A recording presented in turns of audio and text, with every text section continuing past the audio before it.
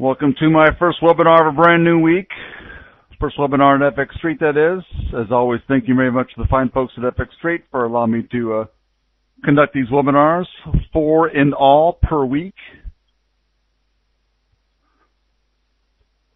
It's actually a benefit to me, as I, as I believe I've said, described before in these webinars. Uh, this this benefits me. It's a good recap for me,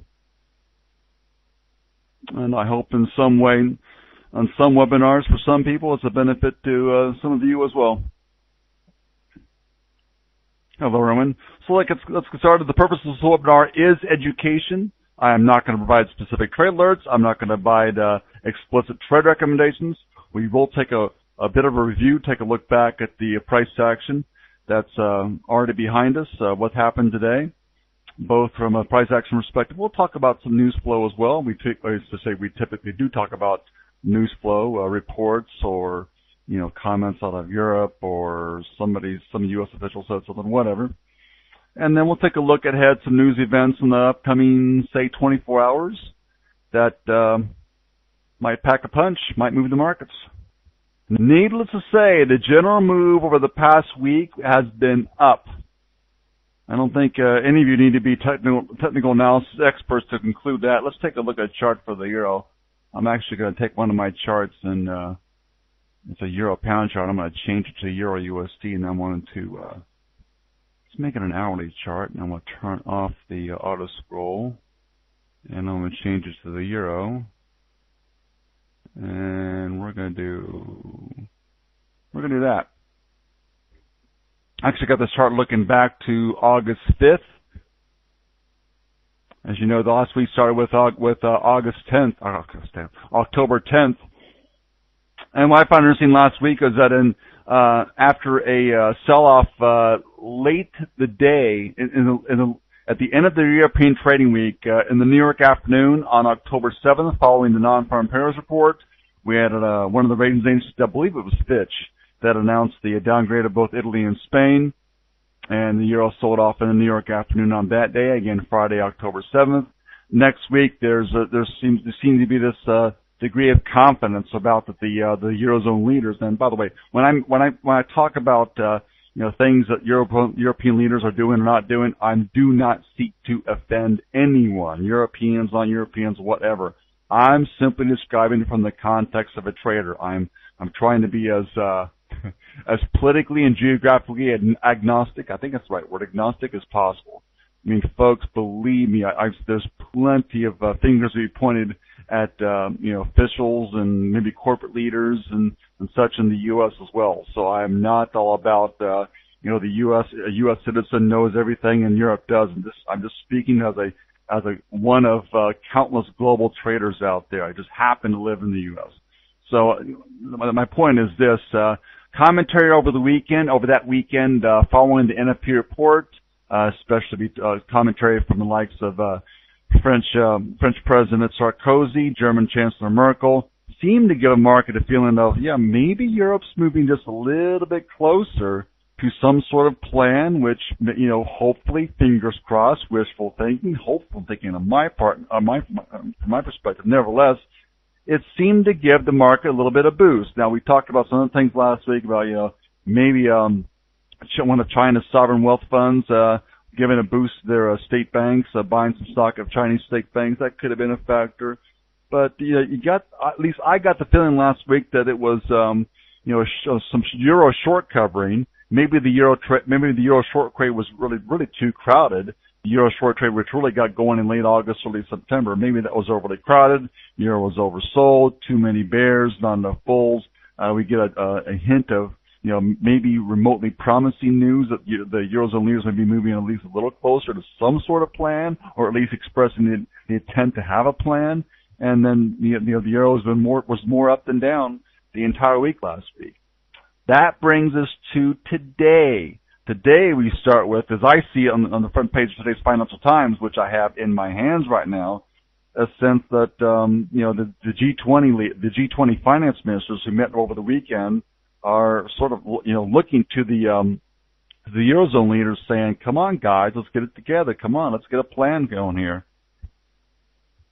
And uh, I'm going to give uh, some comments made during the latter part of today's London morning session. But before I do that, it would behoove me to take you back to another day in the past several weeks. That would be September 15th.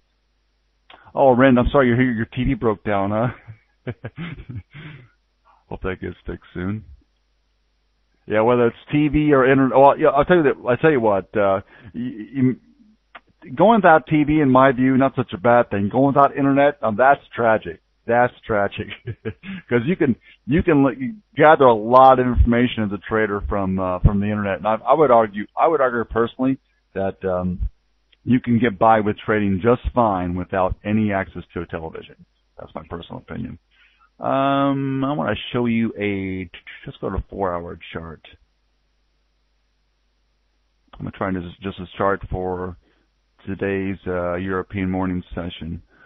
I still recall, and, I, maybe I recall this sort of stuff because I talk about it in New York session video reviews. I just talk about it in multiple, uh, you know, live coaching sessions, webinars and stuff, and I, I'm reading it about in the newspaper the day after such events happen. So it just, that, that constant, I'm constantly exposed to these these these news events and what's what central banks are doing, for example. And when you when you constantly reading about this stuff and uh, the repetition, it eventually sort of sinks in. It sinks in. And I still remember, I still remember the the end of my coaching session on September 15th at 9 a.m. New York time. There was an announcement made. It was a coordinated uh, central bank policy change, or actually more of a uh, reintroduction of something that's been done by the central banks in the past.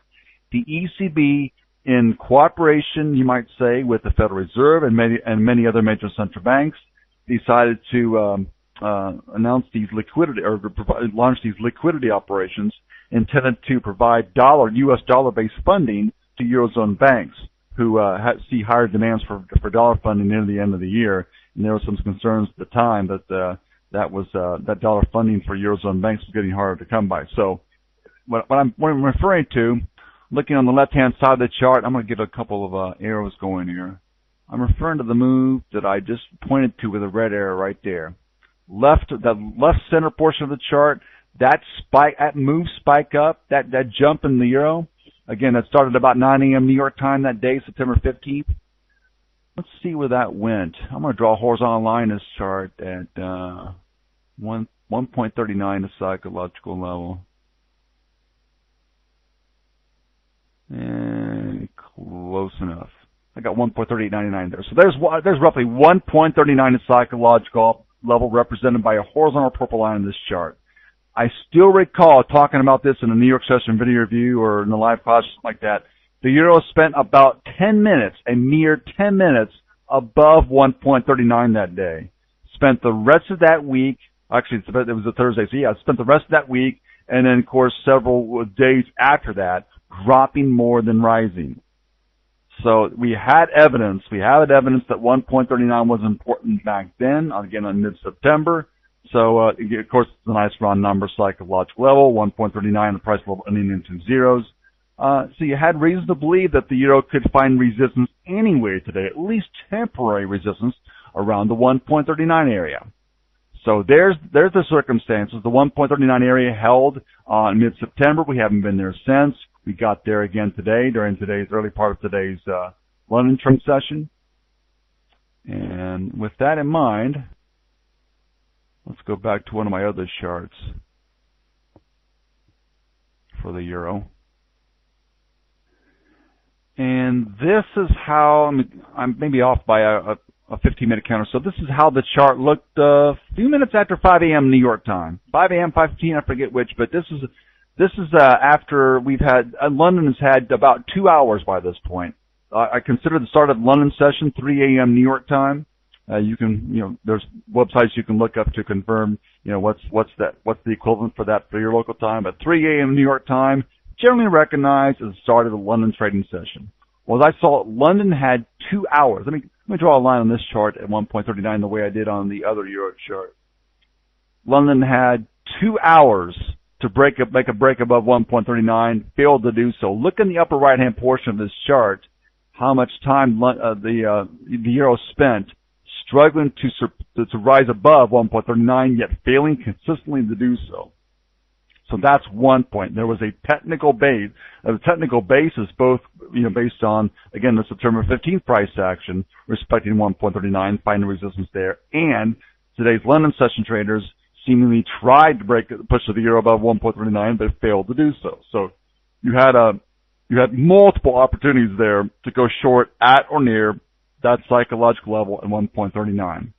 Now, before I go on here, let, you, can also you can also see a, uh, a purple uptrend support line on this chart. What's the basis for that? Let's take a look at that real quick.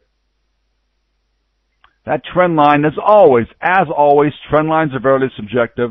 Let me show you the, the base. Let me explain the basis for the positioning I have for this particular trend line. This is an hourly chart, by the way, an hourly chart with indicators. This version of the trend line, you could extend it back further than the one I have. I have this trend line extended back to August, August, October 7th. October 7th low, that's the, that's the, remember that's the, uh, October 7th was, it was NFP day. So the low lows established late that NFP day on a Friday and also the lows from earlier that, that, that following Monday. So those lows combined with some much more recent higher lows beginning with, uh, October 13th, October 14th, and yada, yada, yada. Now, it, it, this trend line isn't fitted quite to the wicks of the lows on, say, uh, October 14th, or even October, uh, actually, there's a couple different lows on October 14th. Here's what I've done. This is my way of do, generally my way of doing trend lines. I, I, I need to keep an open mind. I remind myself to keep an open mind about this. It's not the only way, and I, I'm always reminding myself to, uh, to to draw on my charts different interpretations of trend lines. You know, just my best guess of what different traders might do. Here's what I did in this case. The trend line that I've shown this chart, the trend line, again, especially fitted to the lows on October 7th and 10th. And then I go back to the 15 minute chart and give you a, a more, um, more look, a look at more recent price action. And let me zoom in on this chart a little bit. I fitted the trend line particularly close to recent price action. So when it comes to trend lines, it's it's always a guessing game as to even the horizontal support and resistance. It's always a guessing game as to where exactly does that trend line lie. Well, I used the lows established earlier today, which I can add a couple of red arrows in this chart to uh, identify those lows. Let me do that now. So look, I'm looking in the right-hand center part of this chart. I've identified with a couple of lows with red arrows. I fit that trend line, especially to those lows, and less so to the uh, the lows from uh, last week, for example. So I, at a, at a minimum, at a minimum, I will establish at least one trend line on my chart. If there's a case like this, for you know recent series of higher lows going back several days, I will tend to fit a trend line to more recent price action if, if recent price action, as there was the case during today's uh, Asian session, if recent price action suggests a uh, you know certain interpretation for the for the position of that trend line. So I hope that makes sense. That uh, that's that's certainly one way, not the only way, but one way to interpret trend lines. I tend to put uh, not just trend lines, but even horizontal support and resistance. I tend to put a little more emphasis on recent price action. And you think about it, we uh, Many traders use uh, moving averages, specifically exponential moving averages. Exponential moving average actually do the same thing. They put the, the, the position of those exponential moving averages, put more emphasis, more weight, if you will, on recent, more recent price action. So okay, so there's the there's the scenario. We had resistance around 1.39, 1.39 held, and we've got the prospective support at um, based on this trend line. Uh, one more thing to note, I know I, I've been to highlight on this chart, but I'm about to now. I'm going to add one more upward pointing red arrow to highlight the early London session low, very close to a so-called midpoint psychological level at 1.3850. I'm going to add a horizontal line there. Going to give it a different color. Let's make it uh, let's make it orange. Don't ask me why I favor orange. It just sort of stands out, something different. Let me make sure this is uh, right at 50. So what's the point about 50? 1.3850 midpoint, so-called midpoint psychological level. It's one of those stupid human tricks, which I'm subject to as much as anyone else. Uh, you know, traders tend to tend to pay more attention to nice round numbers. 1.39, a classic example, a, a classic psychological level. Uh, 1.3850, sort of maybe less so important, but still sort of a nice round number, price level, and in, in this case in 50. And we notice the euro bounced near 1.3850 in the early part of today's London session trading. So trend line in place, midpoint psychological level seemingly factors uh, in today's late Asian session trading and early, early London session trading. With that in mind, that takes us to uh, the final hour of uh, FX Bootcamp's uh, London session coach Christian Stevens. Last, last hour of his, of his coaching session, this is between 5 and 6 a.m. New York time. We saw the release at the bottom of that hour, a little before 5.30 a.m. New York time, uh, a couple of comments out of Europe. One by the finance minister in Germany, another by a German government spokesman, likely a spokesperson for uh, uh, German Chancellor Merkel. Uh, Siebert is, is, is the spokesperson's name. And let me post those comments right now, at least as they were reported by um, uh, Trade the News. And by the way, uh, I'm referring to Trade the News as, as a news source, but uh, you might, might some of you might notice that uh, there's an article posted on FX Street which refers to um, uh, Merkel's comments. So let me post these comments right now. German finance minister, I believe his last name is pronounced Schäuble. Schäuble, I may be mispronouncing that, so please don't laugh at me too hard if I've butchered that last name. There's the comments by the German finance minister.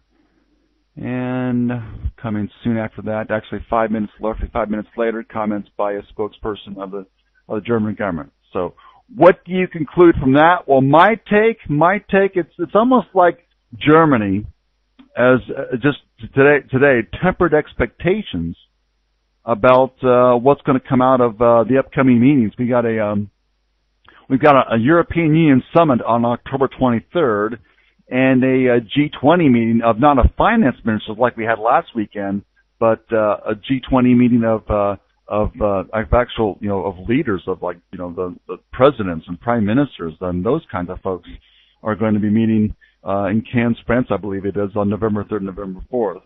So part of the reason, as we discussed a little bit ago, part of the reasons for the uh, uh, the rise last week in the euro seemed to be, of course, you call it part technical, the euro oversold, and euro again the euro short trade overcrowded, and uh, some short covering gave the euro lift. But uh, if you look at at least uh, in terms of news flow, why might why might the euro, based on news flow, have risen the way it did last week? Possibly on the back of uh, maybe it's again misplaced or, or, or overly hopeful, but back of at least some marks, market expectations that maybe uh, Germany and France in particular, and the eurozone in general, could be moving closer to some kind of solution for the eurozone sovereign debt crisis. But those comments by uh, by Schäuble and by uh, Siebert lead, lead one to believe that uh, may, that they think anyway, right or wrong, that the market's getting ahead of itself. That the market's expectations for the solution, the solution to the eurozone, uh, it, it's it's it's just again over optimistic, over optimistic. That a solution, uh, a grand solution, grand plan. That's you know a fix it all sort of plan, likely not forthcoming in the mind at least of uh, the German finance minister and uh, likely Merkel as well. Yes, exactly. And well, in fact, that's the that's the term that uh, Siebert uh, mentioned, right? Dreams. He made reference to dreams there. I believe it's a he. I don't, I didn't even I don't really know what the uh, Siebert's first name there, but I assume it's a, uh, some, some gentleman. So what struck me is this. Let me get to the, let me, let me go now to an hourly chart. Here's what I was talking about at the start of my coaching session today, which, uh, my coaching session, at the FX Bootcamp started at 6 a.m. New York time. I'm going to go back to an hourly chart. And folks, I do, I've done this a lot over time, and I encourage each one of you to do the same. Uh, I'm wondering how many of you struggle when you see a, you know, a move unfolding, and maybe in response to some comments out of Europe like this. Sometimes the move is in, maybe in response to a news report, or an economic report. Sometimes the move has the move has no apparent logical catalyst or cause. It's just a move a move that unfolds. What I tend to do when I see a in this case we got a, a fairly sizable hourly candle, the hourly candle which closed at 6 a.m. New York time. I tend to compare it the hour to the hourly candles we've gotten in, in the uh, the recent past. Like I look back over to say a week or two weeks worth of price action to see you know how big is that move in the context of uh, you know what we've seen lately. In this case, on the Euro USD. So let me uh, zoom out a little bit on this chart and give you some perspective here. I may have zoomed out lecture a little bit too much, but you know this is not bad. It may be a little hard to see, and I apologize for that. But at least it gives you some perspective. And you can do this on your own charts. What I've done is I've um, I've I've got a euro an hourly chart for the euro USD zoomed out to show price action since uh, really uh, the New York session open on October 5th. October 5th New York session open through through 6 a.m. New York time today. And so what I, I did sort of a visual check of the size of the, the hourly candle, which closed today at 6 a.m. New York time. I compared the size of that red hourly candle to the size of other red hourly candles uh, going back in time to October 5th. And I could find only t- on two of the occasions, on only two other occasions, did the euro drop so much over the course of an hour. And again, by the way, I'm reminding myself that the drop uh, that the, uh, the the hourly candle, which closed today at 6 a.m. New York time, that wasn't even a full hour's move. That move occurred only over mostly like 30 minutes, a little over 30 minutes. Again, the the the, the uh, sell-off on the euro today really got going when those comments um, hit by um, by Schäuble and by Seibert hit the news wires again around 5:30 a.m. New York time. So you're talking about a move which really unfolded over a little more than 30 minutes. So you're comparing like a you're almost comparing like a 30, 40 pip, a 40 pip, a 30 or 40 minute move on the euro, a 30 or 40 minute sell off, two moves which unfolded over an hour over the past uh, several trading days. And what I found was this: I found I found one uh, one hourly candle, which I have the cross. Actually, let me switch to uh, a cursor here. Uh, I see an hourly candle, which I actually I need the cursor, the crosshairs again. Cause I want to make sure I got the dates. October 13th, I saw a sell-off which uh, got going on October 13th. The hourly candle's bigger than the one which closed at 6 a.m. New York time today. The other one, besides that, the other notable sell-off was the one I mentioned earlier um, in response to the uh, sovereign debt downgrade by uh, Fitch, I believe it was Fitch, of both Italy and, and Spain. So I, again, I'm trying to put the, the, the move today, the move earlier today, uh, between about 5:30 a.m. and 6 a.m. New York time. I'm trying to put that move in context of recent sell-off. And what's what struck me is that you know this seemed to be a pretty significant move. Again, for over that span of time compared to similar moves in the past. I mean, for example, if you look at the uh, maybe not maybe that's not the best example, but if you look at the sell-off after the uh, Fitch downgraded both Spain and Italy on October 7th, I mean the euro never had a chance there. It, it, the euro is more down and up the rest of that trading day although it's not a fair comparison because it's the New York afternoon on, after on a Friday of NFP, and I mean a, that that's a very very illiquid time of day. Very few traders in the market, so I don't want to make too much of that. But another notable example was the sell-off on uh, October 13th, which I highlighted earlier. That sell-off occurred uh, was a, a kick-started uh, that the uh, London trading session that day, and uh, by and large, uh, the, the euro dropped uh, for several hours following until we hit a trend line. Actually, that trend line went back further, but anyway, actually, it wasn't the trend line; it was the retest of the um, of the highs in the prior week. Yeah, that was a that was a nice uh, long, as I recall. But anyway, that uh, my point is that you know that sell-off on October 13th during the uh, early part of the London session that that day, it, it had at least some legs to it. It wasn't a big extension, but it did extend a bit. So my point is this: from a from from a pure price action perspective, this this sell-off, which uh, started at about 5:30 a.m. New York time, actually a few minutes before that, it, it, it was it was a sizable move. It was a sizable move, and what I was uh, telling the live class at FX Bootcamp was that uh, I, I never uh, give uh, specific trade signals or tell anyone what they should think with regards to bias. But I, what I pretty much said was this: you have uh, the, the bears, the Euro bears, had reason to believe that sell-off for by you know by many for many reasons for several reasons the sell off the, the early sell off uh, had legs in response to the uh, comments by uh, and by Seibert. Yeah, and I'm getting to the trend line, Money Man. Thanks, thanks for bringing that up. So go back to my interpretation of the trend line. If you go back to the 15 minute chart,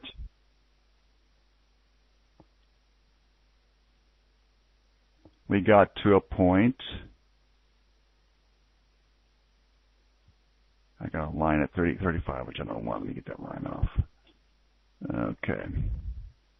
I'm going to zoom in on this chart a little bit.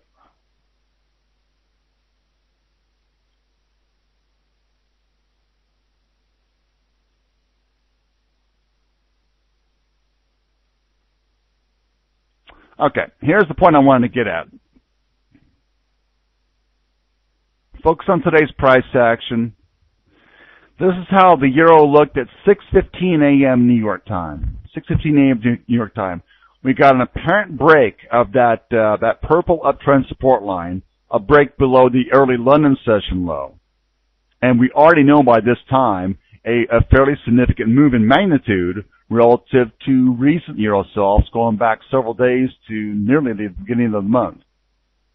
And, uh, you know, a, a, seemingly logical sell-off given the uh, comments made by uh, both uh, Schäuble and, uh, and Siebert. Seibert, Siebert, I would, somebody correct me on if I'm getting that wrong. So, the simple trade plan, not maybe an easy trade plan because it was, it's what I would call a very shallow retracement. A shallow retracement in this, case meaning a, a relatively small rise compared to the drop which preceded it. But the short was uh, during the during the 15 minute candle I'm showing in the lower right hand portion of the chart. The short the, the plan was basically to short at about at or very close to 1.3850 combination trend line retest, uh, midpoint psychological level at 3850 plus retest of the early London session low. And what I don't show in this chart, but you can see in your own charts, if you if you, if you have a 15 minute chart uh, with indicators on it with the 5 EMA, for example, the five, the 15 minute 5 EMA was in the same area near 38.50 at that time. So that was the trade, short of 38.50. Uh, this, the euro dropped eventually to the horizontal green line in this chart. That horizontal green line represents today's S1 pivot point. The daily S1 pivot point, at least what I have for S1 based on my settings for pivot points. Not that my settings are the same settings as, as, every currency trader on the planet has, but the settings that I've been using that the that seems to be um, uh, seems to have been confirmed by other traders in our in our live coaching sessions that uh, you know in other parts of the world and such. My S1 at basically at 30 3770. Uh, it's actually 36 3769. Now, why is that relevant? That that area that area between uh, about 3750 and 3770. Some of you may recall that was important last week. That was important last week. I, I, I think last week I referred to it as like 37 uh, 3750 to 3765, roughly a 15 pip zone. But I don't know if any, if you, any can, can recall, there was a euro rally, a euro rally during last Wednesday's London session. It was a strong rally which hardly flinched in response to anything. Again, strong euro rally during uh, last Wednesday's uh, uh, London session, which hardly responded to anything. Hardly, uh, there was hardly any uh, uh, notable response in price action to much any prospective source of resistance. One I did notice, what I did notice during that, uh, during my London lunch coaching session on Wednesday, and we talked about that in the live class, and I believe I, I talked about it at least in one of these, uh, in one of these uh, FX Street webinars, was that there was some reaction. There was, let me, let me zoom out on this chart. There was some reaction that day to the um, 3750 to 65 area. And I'm going to go back up a little bit to see, see this. Yeah, here it is. So on the on the upper, uh, sort of in the left-hand portion of this chart, sort of upper left-hand portion of this chart, I've got a number of arrows there, and those arrows were uh, arrows I do uh, based on a five-minute chart several days ago. You know, after this price action unfolded, and you can see now that uh, that that day's uh, London, uh, I'm sorry, that day's New York session lows, the lows during the New York morning session last Wednesday, October 12th those lows were generally defined by that 3750 to sort of 65 zone. So my point is this, that, that, that zone has had some history. Uh, the 50 to 70 zone has had some history to it. Even to find the lows on, uh, like the early Asian session lows on, uh, last Thursday. So you had some, uh, an area that's had, that, that's, that seemed to have influenced the euro before, daily S1, and that was it. That was it. The euro, the euro essentially finished the European trading day very close to that 3770 level, very close to that daily S1. So the trade plan, short at about 3850, take profit or at least partial profit, maybe scale for those of you who like to scale your trades. Scale a trade at the S1 at 30, at about 3770.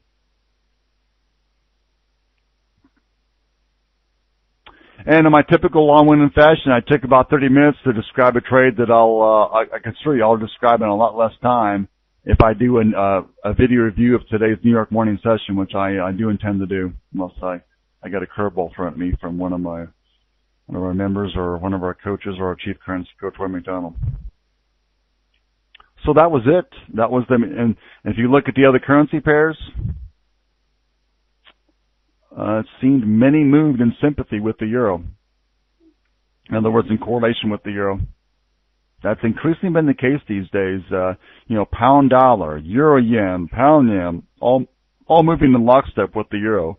Uh, I mean, that's that's historically over the past three or four years, it's been more common than not. But we went through a phase there for a while where like the yen crosses were doing their own thing, and cable, the British pound was doing its own thing. But not so lately. In the past several weeks, as I've seen it, there's been some pretty tight correlation between uh, the four major currency pairs you see in the middle of this uh, view here: uh, Euro USD, Pound Dollar, Euro Yen, Pound Yen, and to some degree even the you know the Aussie USD, uh, you know, same, sort of thing. Aussie Yen, generally all moving in lockstep.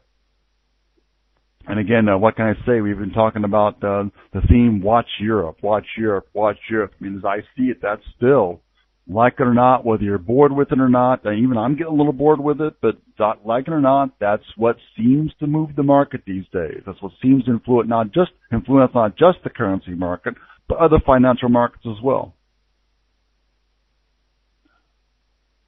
Michael, you know what? I I tend to think so too, and it's it's a it's actually a source of um, a fairly co- consistent debate at FX Bootcamp as to you know indicators or not, indicators or not. Well, I I sometimes think the, deba- the, the debate is misplaced, and even I I probably don't help the debate because of, of my emphasis on um, on on price action more than anything else.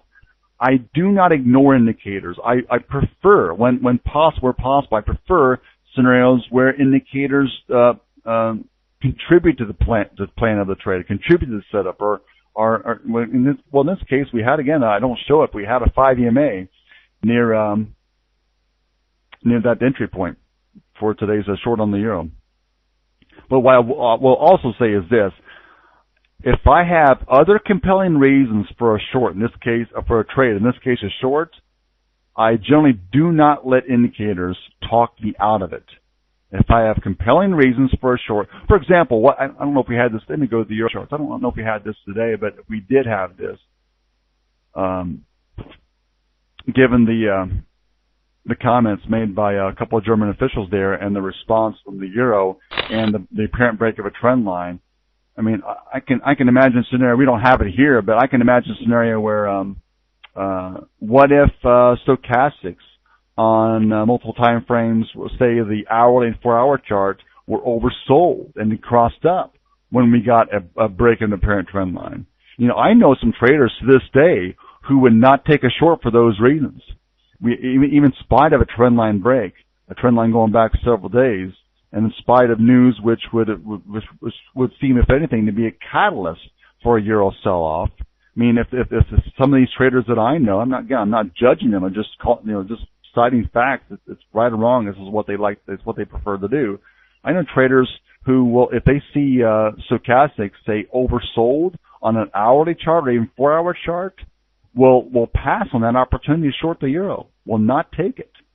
They prefer to have more ducks in a row, so to speak. Prefer to prefer to have more indicators, um, you know, pointing in their favor. But my perspective, the indicators, I mean, are just generally not foolproof. Not foolproof. I mean, some indicators work better than others. Some indicators work better at certain times than others.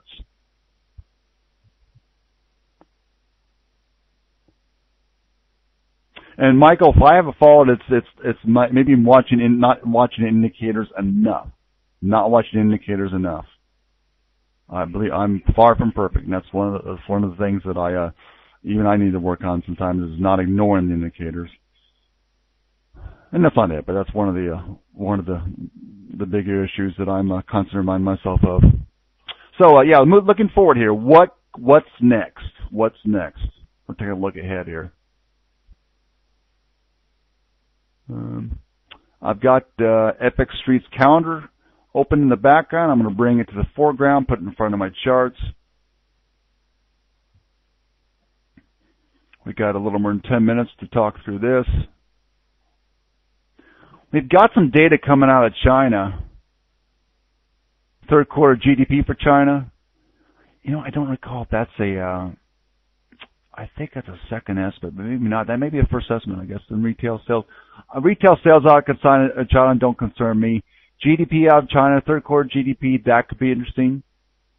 Believe it or not, believe it or not, uh, I'm actually interested in some of the uh, Japanese data. Japanese data, machine tool orders could be interesting.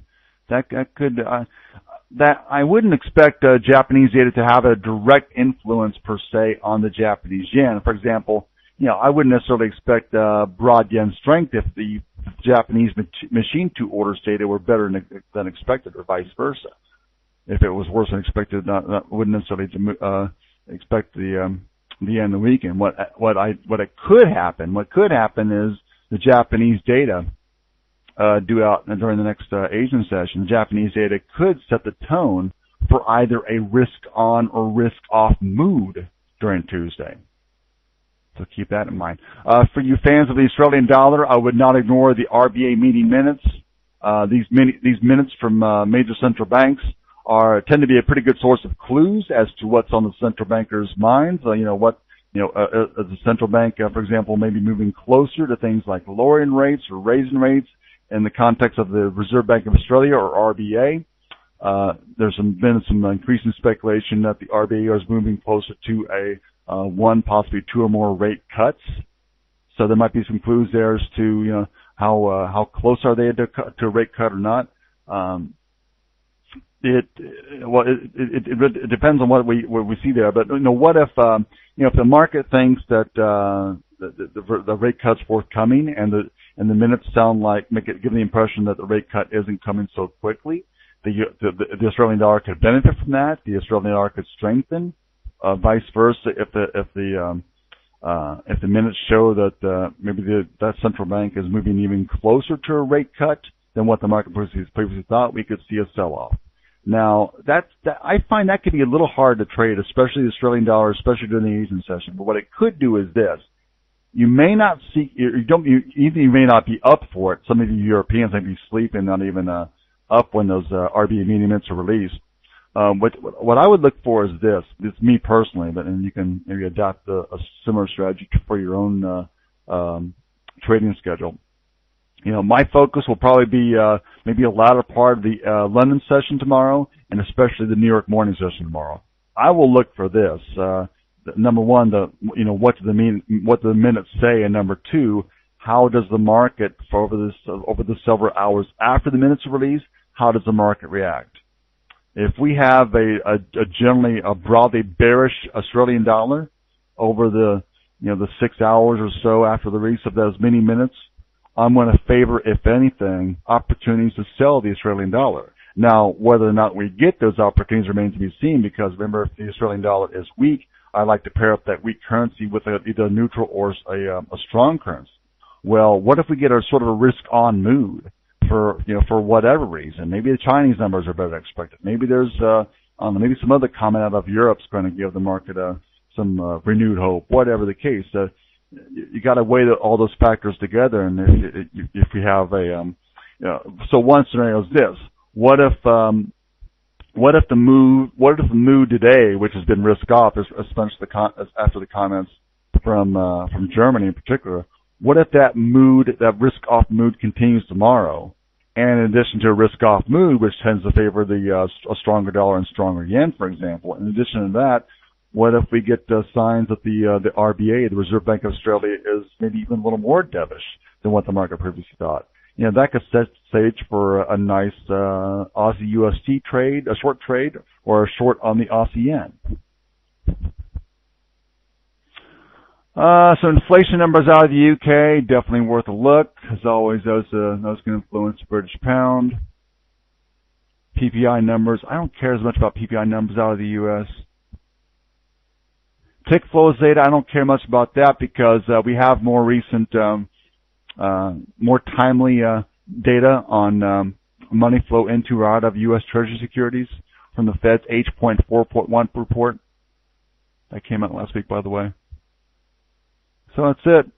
Maybe it's possible. I, I wouldn't I wouldn't bet on this. I wouldn't expect that the Japanese data will definitely influence the market, but you know, Japanese data could be a contributing factor to some sort of either again risk on or risk off mood in the market.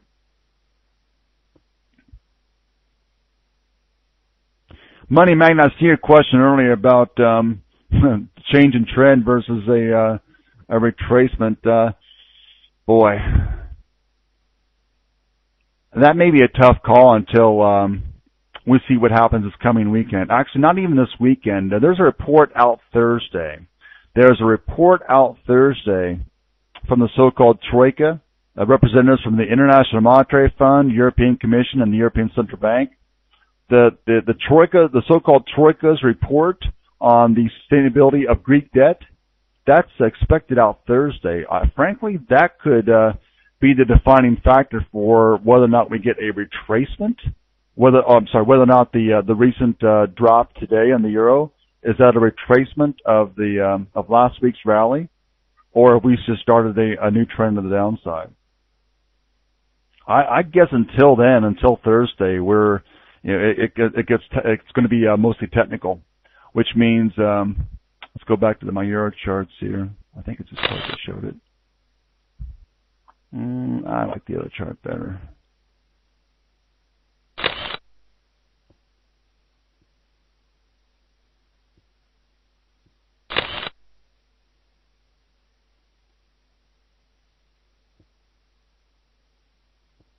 Yeah, and I agree. The uh, Chinese data could be, uh, you know, and in fact, it, it's just one of those weeks where, you know, until Thursday, and this is still not Troika report, and then we got the, um, uh, the EU summit over the weekend, or maybe it's early, uh, early, uh, like Monday next week, I forget which, but it's coming up, uh, uh, around the end of the week this week, the next European Union summit.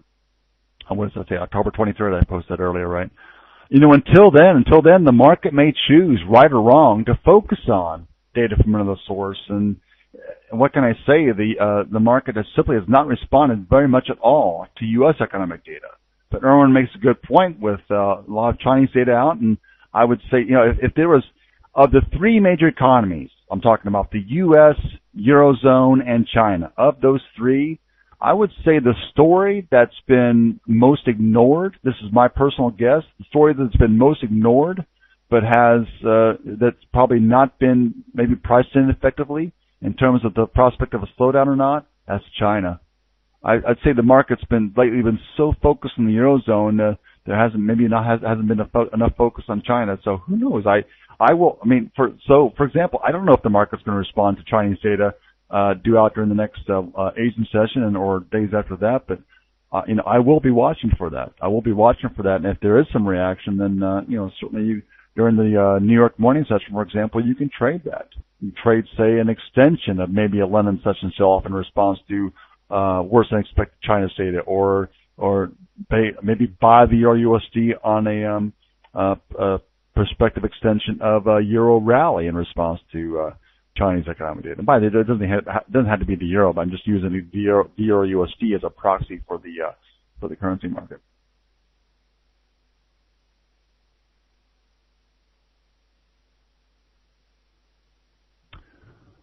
Uh, what else we got here? I'm checking some of the other comments and questions. so, so Jack's asking the same question that the money mechanism. Said, Jack, uh, Jack one, I see your question earlier about. I mean, folks, guys, I'm gonna tell you, I, I do. If you were to ask me, if you think I've got it figured out, I'm just like you. I do not know. I do not know. My best guess is this. I can tell you this much. I would expect Let's go to a, let's go to, go to hourly chart. You see that horizontal line at 1.3685? I would expect there's a more than a few buyers lurking there. Maybe not, I mean not, maybe not actively looking right now, but I'd imagine there's more than a few traders who will look to buy, maybe it's 137, maybe it's 136.80, somewhere around there somewhere around there, there's I I bet there's a uh, there's a case for a buy. Or if you're short, there's a case for taking at least partial profit there.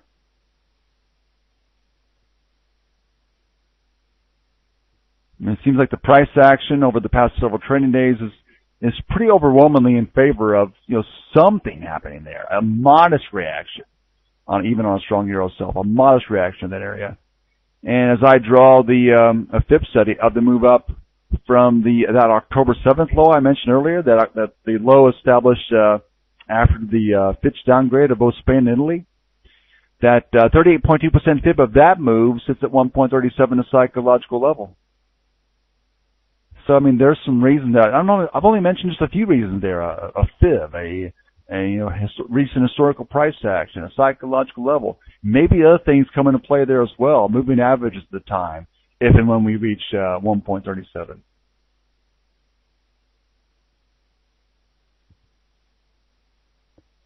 One thirty six, almost sixty, is the uh, 38.2% bid uh, if you which you get if you pick the October 6th low.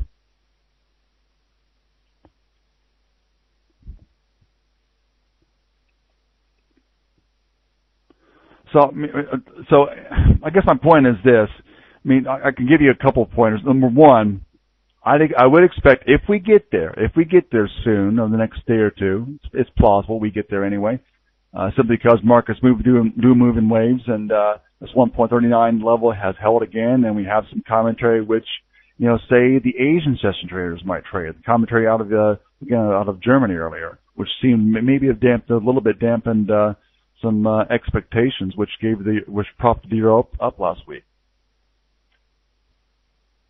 But I would guess the euro is going to trade technically, you know, a little bit up, a little bit down, a little bit up, a little bit down until uh, either a we get some uh, a kick one way or another from the Chinese data, or b until we get to Thursday when this uh, so-called Troika report comes out, and you know maybe that's something the market will respond to in terms of uh, defining you know, what's what's next? Is are we going to get an extension of uh, last week's uh, Euro rally, or is this uh, drop today the beginning of a um, of a continued sell-off?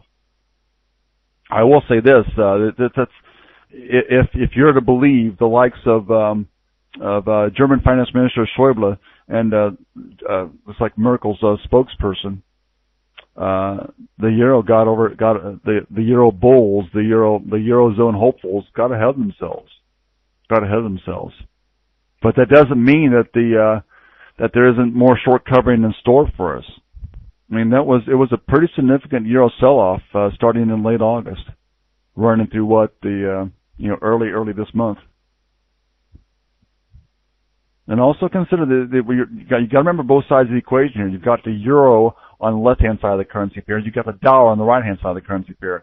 We still, we still are facing eh, on the dollar side a central bank, or still dealing with a central bank that is the Federal Reserve that has pursued, has to continue to pursue uh, easy, very easy, very accommodative policy, very loose policy, and poised possibly eventually to do more of that. So I hope that helps.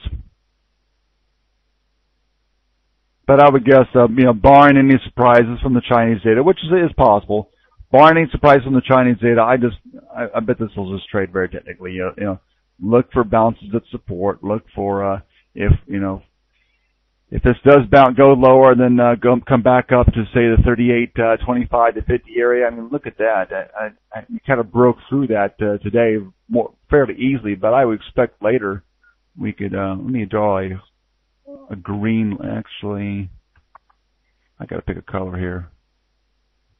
See if I can go purple or something. I've already used all the other uh, major colors in terms of horizontal lines. Actually, you know what? I haven't done black. Let's just, let's just do black. Duh. Okay, horizontal black line at about 38.25. I mean, I would it wouldn't shock me. It wouldn't shock me if the euro rose to the 1.3830-ish area, found resistance, and uh, there's a case for a short.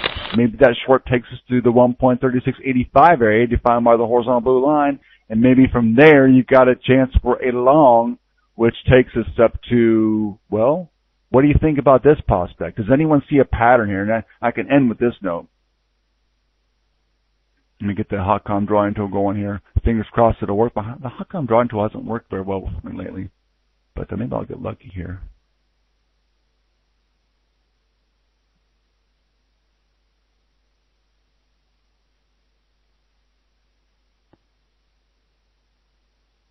And no, it's not working. Shoot. Well, I can describe it visually or verbally here. Look at the hump you can see. I'll move my cursor. You can see this. Look at the hump, which uh, developed um, hmm, middle part of last week, and look at the more recent hump, late last week, and then today. Is it possible we get a uh, head and shoulders pattern emerge over this over the course of this week? In other words, we could get the the completion of a head and the right shoulder uh, of a head and shoulders pattern with with possibly a neckline around 1.37 or that blue that maybe close to the blue line in this chart. That's that's generally what I would expect, something like that, some sort of head and shoulders pattern to to emerge if if last week's rally was merely a retracement and a broader sell-off on the euro. And Dan, I, Dan, I see your comment about pound dollar earlier, and I, I won't argue with you about uh, uh, things like um, you know rising wedge and such. But I'm trying to keep it simple here. My time is limited. That's no offense to FX Street. It's just it, it's, it's a good thing my time is limited here. But I'm using the euro as a as a pretty uh, what I consider a reasonable proxy for the uh, for the major currency pairs, multiple currency pairs. So, folks, that uh, that's it for my time today. Again, uh, watch especially the uh, news out of China. The RBA mini minutes could certainly uh, uh, uh, influence uh, sentiment for against the Australian dollar, and maybe the Japanese yen delivers a surprise, which could uh, bring on sort of or influence sort of a risk on risk off mood. Other than that, uh, as as I've been saying many many times before in the past several days and weeks, I don't know if we're going to get any new commentary out of Europe, but uh, uh, watch Europe. Watch Europe. Uh, any new flood of Europe can, if, if only for like an hour or so, uh, cause the euro to fluctuate. Folks, have a great day. I hope I've helped in some way. If you have any questions or comments that I missed, I apologize for that. Please feel free to ask them tomorrow or post them again uh, as I wrap this thing up and I'll turn off the mic. Post them again and I can uh, type out a response. Thanks again to FX Street for uh, allowing me to conduct this event. Cheers.